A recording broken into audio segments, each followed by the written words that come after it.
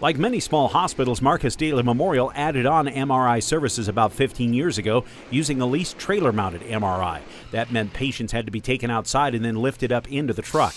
It's why the hospital board decided to invest in the hospital's own MRI suite, constructed last year as part of the overall campus changes. The new unit rests indoors, shielded with enough copper to make Marcus Daly proud. Not that there was anything wrong with the old magnet, it was just that this magnet uh, is in a nice big room and it also is actually pretty short from front to back, and so it really helps with our claustrophobic patients.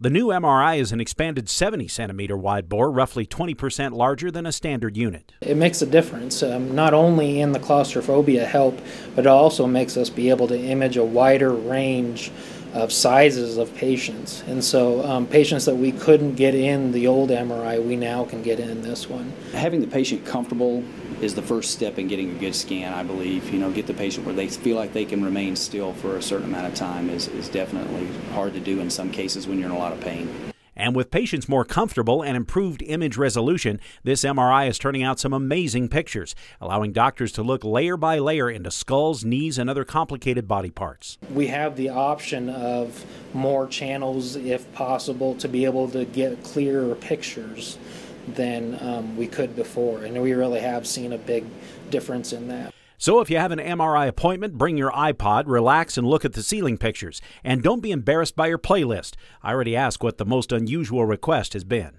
Beauty and the Beast? In Hamilton, Dennis Bragg, MTN News.